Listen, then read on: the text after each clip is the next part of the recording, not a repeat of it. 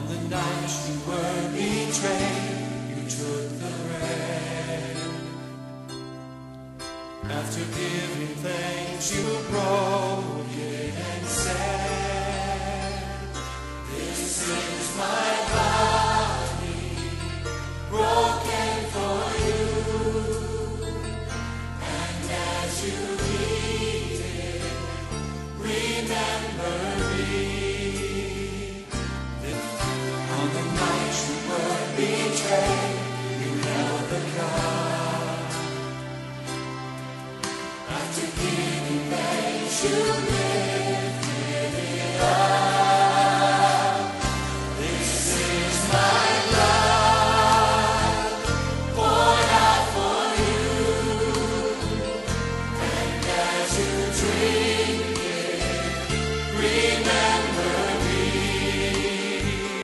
Dear friends, today let us reflect on the Gospel of John, chapter 21, verses 1 to 4.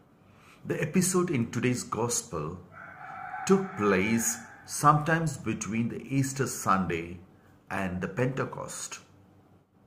The apostles were in a state of confusion.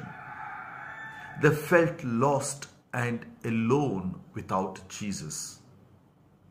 When Jesus approached, the first thing he did was to give them something to eat. He did so because feeding a person is a profound sign of love.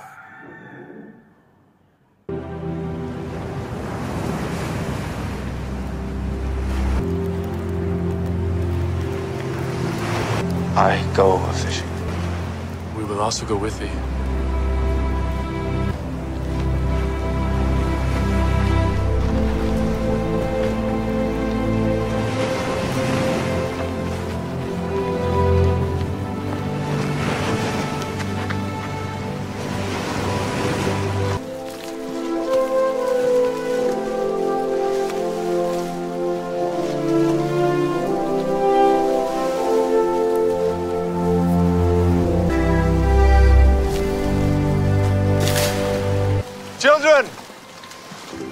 Have ye any meat?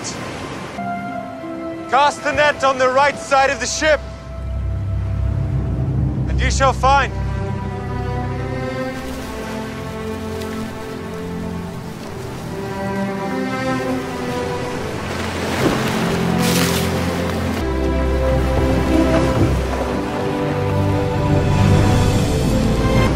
It is the Lord. Bring up the fish which you have now caught. Come and dine.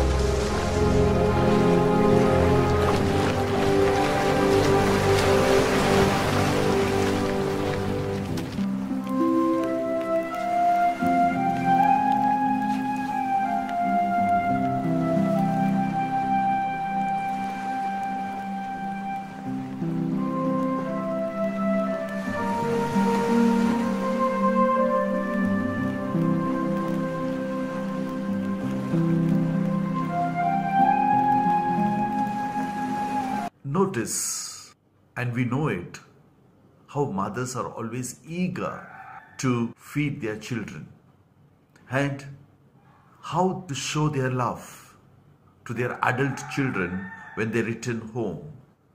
They want to feed them. Jesus can and did what a mother can't do. He can and does feed us with His own body and blood as a sign of His great love for us. Jesus left us a special food and drink. We are in the same period of time between Easter and Pentecost as were the apostles during their time of confusion. We should not think Jesus has gone away and no longer loves us.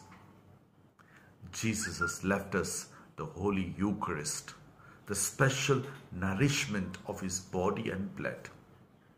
Yes, my dear friends, the Eucharist is the great sign of the love which Jesus has given to us. This is my blood